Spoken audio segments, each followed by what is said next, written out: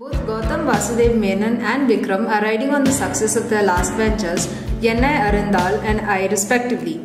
The latest buzz is that the director and the actor have decided to come together for a grand venture which will hit the floors soon.